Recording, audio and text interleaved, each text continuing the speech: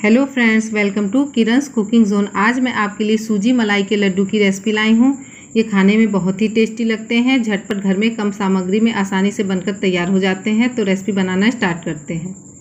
सूजी मलाई के लड्डू बनाने के लिए एक कढ़ाई या पैन गरम करेंगे और उसमें डालेंगे हाफ़ कटोरी देसी घी।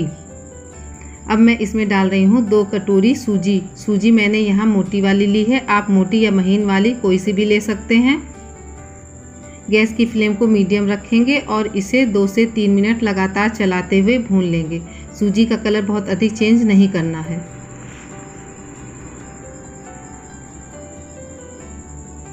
इसे भूनते हुए तीन मिनट हो गए हैं। आप देख सकते हैं सूजी का कलर हल्का ही चेंज हुआ है।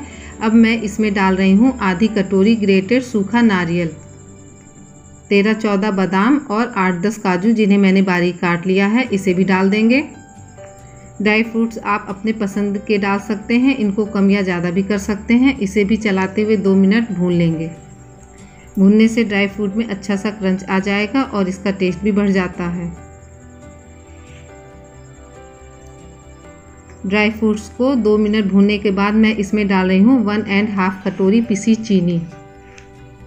इसे चला लेंगे और इसमें डाल देंगे वन थर्ड कटोरी मलाई। ये घर की दूध की फ्रेश मलाई है। इसे डालकर मिक्स कर लेंगे। अब मैं इसमें डाल रही हूँ हाफ़ टी स्पून के करीब हरी इलायची का पाउडर। इससे लड्डू का टेस्ट बहुत अच्छा आता है। अब मैं इसमें डाल रही हूँ थ्री टीस्पून दूध, क्योंकि मुझे मिक्सचर थोड़ा ड्राई लग रहा है। अगर आपने जो मलाई डाली है, उसमें दूध की मात्रा अधिक है तो हो सकता है आपको दूध ना डालना पड़े। ये मलाई के ऊपर डिपेंड करता है कि बाद में दूध कितना डालना है। अब इसे मिक्स कर लेंगे। आप इसका टेक्सचर देख सकते हैं, ये इस तरह का होना चाहिए। अब इसे तीन मिनट के लिए लो फ्लेम पर ढक देंगे। इससे सूजी थोड़ा सॉफ्ट हो जाएगी।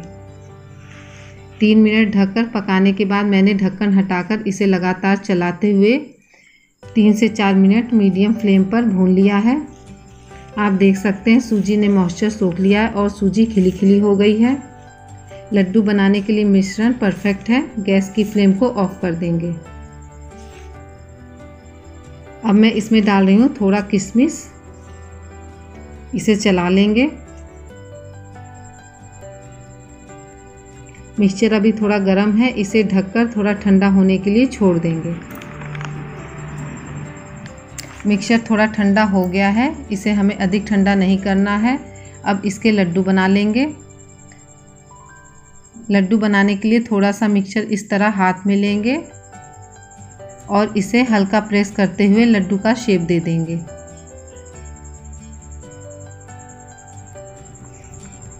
फ्रेंड्स, अगर आपने मेरा चैनल अभी तक सब्सक्राइब नहीं किया है या आप मेरे चैनल पर अभी नए हैं तो प्लीज़ मेरा चैनल सब्सक्राइब कर लें और पास में लगे बेल आइकन को भी प्रेस कर दें, जिससे मेरे आने वाली वीडियो की नोटिफिकेशन आपको पहले मिल जाएगी। ये बिल्कुल फ्री है। लड्डू बनाते समय अगर आपको मिक्सचर थोड़ा ड्राई लग रहा है तो इसमें एक चम्मच दूध या मलाई मिला दें और फिर से लड्डू बना लें। लड्डू बनकर तैयार हैं। ये देखिए, ये लड्डू देखने में जितने अच्छे लग रहे हैं, उतने ही खाने में भी टेस्टी लगते हैं। ये लड्डू आठ से दस दिन तक ख़राब नहीं होते हैं। तो फ्रेंड्स, इसे आप भी अपने घर पर एक बार ज़रूर ट्राई करें। सभी को ये ज़रूर पसंद आएगी। तो मिलते हैं नेक्स्ट वीडियो में एक नई रेसिपी के साथ। Till then bye bye thank you for watching